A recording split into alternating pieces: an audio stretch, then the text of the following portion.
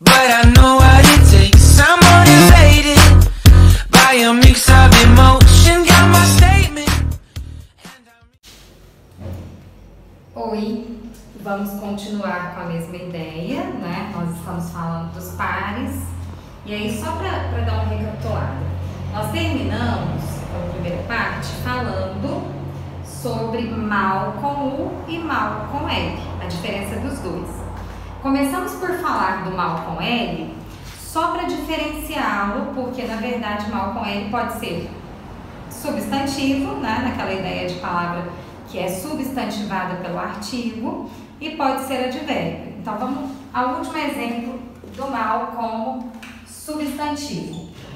O substantivo mal, além daquele exemplo que nós vimos na, na parte anterior, ele também pode ser uma conjunção subordinativa temporal.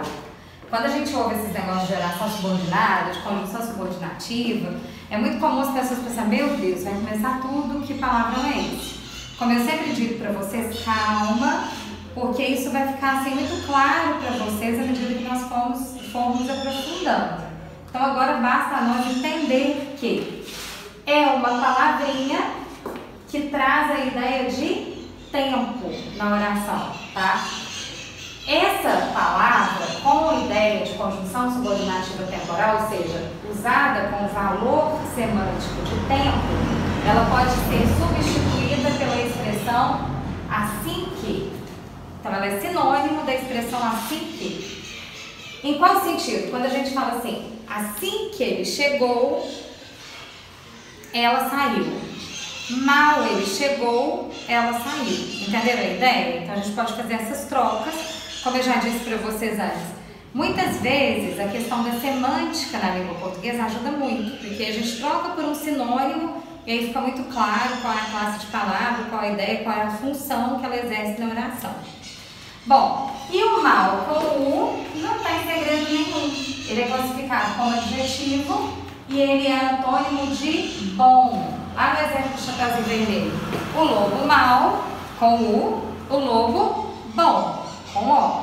Entenderam? Então, mal com U é só isso, é só essa ideia.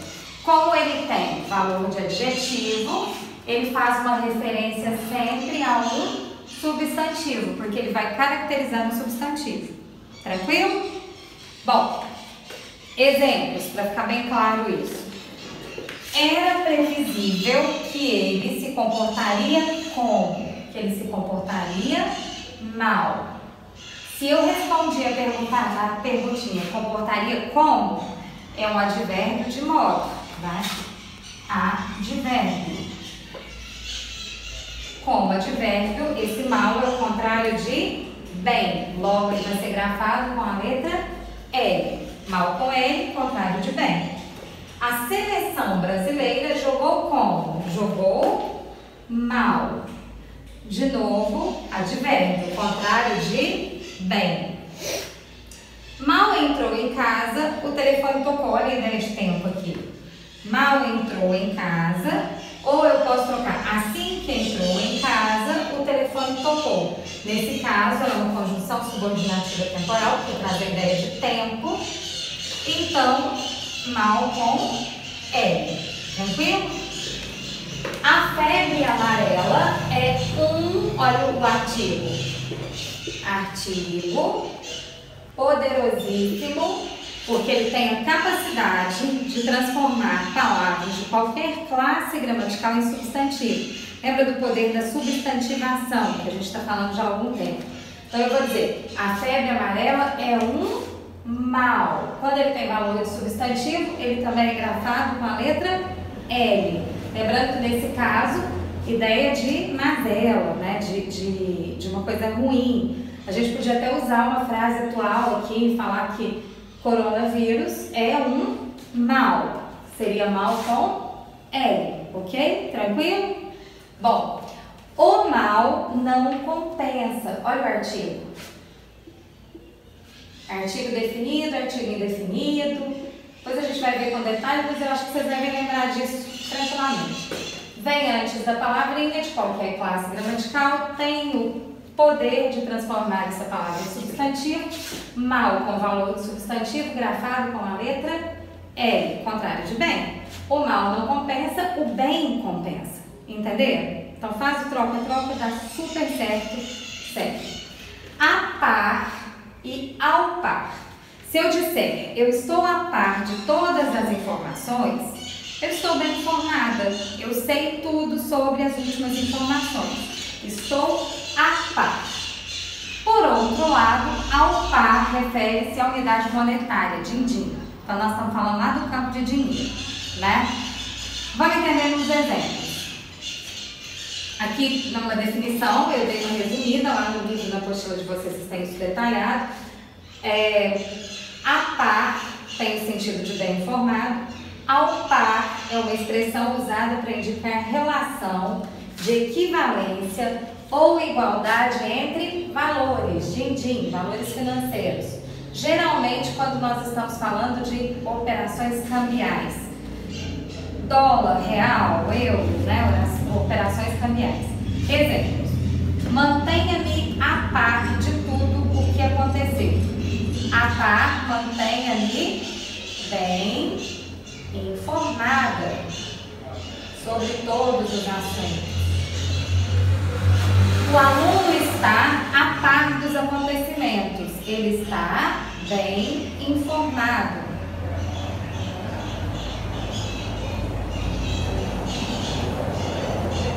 As moedas fortes mantêm o câmbio praticamente ao par, quer dizer, equivalência. Câmbio, operações monetárias. O Brasil já elevou o papel moeda, deixando o real e o dólar quase ao par, quase equivalentes, quase com preços equilibrados. Entenderam? Tranquilo por enquanto? Daqui a pouco a gente tem um pouco mais de expressões.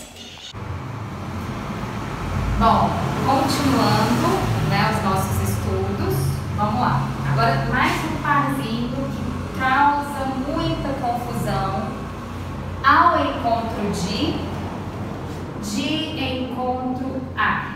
Só para entender, geralmente as pessoas falam assim, é muito comum, eu ouço muito, isso me incomoda. As pessoas falam assim, suas ideias vão de encontro às minhas. Aí eu imagino que quem me conhece sabe que eu tenho uma mente assim incrível, né? O mundo de Bob, eu imagino a coisa acontecendo. Aí eu imagino as ideias vindo e trombando, literalmente, com as minhas. Porque quando a gente fala que vai de encontro a, presta bem atenção, de encontro a, oposição, confronto. Então, se as suas ideias vão de encontro às minhas, quer dizer que as suas ideias são opostas às minhas. Se eu quero dizer que eu gosto das suas ideias, porque elas são como as minhas, aí eu não uso de encontro a, eu uso ao encontro de, que aí ela é favorável. Entenderam a diferença? Então, se eu disser ao encontro de, indica ser favorável, ser próxima. Então, as suas ideias vêm ao encontro das minhas. Nesse caso, as suas ideias e as minhas se aproximam, nós pensamos de maneira igual. Se eu disser que as suas ideias vão de encontro a, eu disse que as suas ideias estão totalmente diferentes da minha, elas são o oposto da minha, eles confrontam com a minha. Tranquilo? Então, da próxima vez que vocês quiserem falar bonito, é muito bom a gente aprender essas expressões. Observem a semântica, tá? Não tem problema nenhum usar uma e outra, desde que a ideia que você queira expressar corresponda à expressão que você escolheu usar. Depois, é, vamos aos exemplos. Ainda bem que sua posição veio ao encontro da minha, quer dizer, ainda bem, favorável, certo? Ao encontro de. Sua decisão veio ao encontro de meus interesses veio de novo ao encontro de que bom, sua decisão e os meus interesses estão ali combinadinhos e alinhados. Os gestos do jogador foram de encontro aos princípios morais. Quer dizer que os gestos do jogador, as atitudes dele, foram contra os princípios morais. Ele se comportou de forma imoral. A gente vê muito isso acontecendo no noticiário, né? O jogador fica lá famoso, tem uma história linda, e de repente essa fama sobe e os gestos e as atitudes deles vão de encontro aos princípios morais. Entenderam? O carro foi de encontro ao muro, derrubando. Quer dizer, colidiu, bateu, oposição, ok? Depois esse parzinho aqui também deixa a pessoa assim, muito preocupada às vezes. Vamos entender.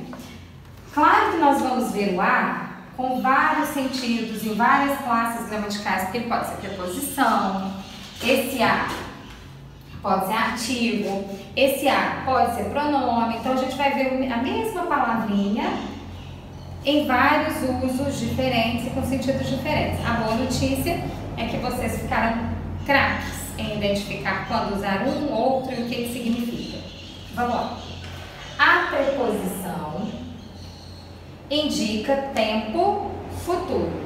Quando eu falo assim, daqui a três anos, é, farei uma viagem incrível. Quer dizer, tempo futuro. Se é futuro, A sem H, bonitinho, é essa ideia. A com H esse A com H e acento, primeira coisa importante, vamos entender. Ele tem um papel diferente com sentidos diferentes. Mas é importante entender também que ele não flexiona. Ele não muda de forma, tá? Então, a gente não vai combinar com o substantivo. Eu não vou falar assim, é, há uma pessoa na sala e ão três pessoas. Não existe, pelo amor de Deus, corta um X grandão que ele não flexiona, ele é impessoal, ele não muda de forma. Então eu vou dizer assim: há três alunos presentes, há uma multidão à espera. Toda vez que eu usar o a com sentido de existir, existe, existem, o existe flexiona, ele muda de forma, o a não, ok?